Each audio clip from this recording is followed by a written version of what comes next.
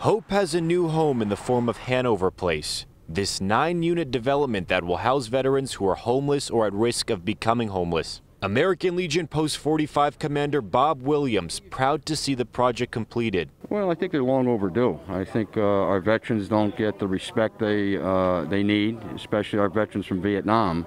So I think it's a wonderful project. Governor Lamont, Meriden Mayor Kevin Scarpati, and other state and local officials also on hand to cut the ribbon and discuss the project's importance. It's housing so that folks who grow up in Meriden can stay here, so that folks that work in Meriden can uh, live where they work.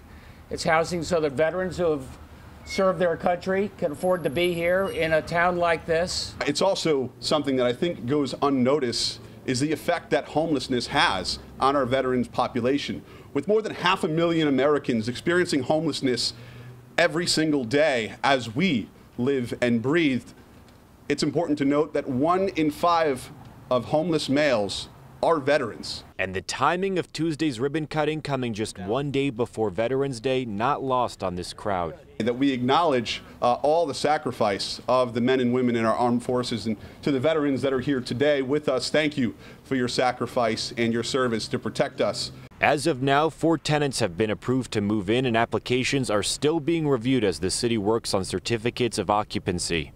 The project was funded by $1.65 million in state grants from the Connecticut Department of Housing, as well as public private partnerships, all under the direction of the Meriden Housing Authority. Reporting in Meriden, Angelo Bavaro, Fox 61 News.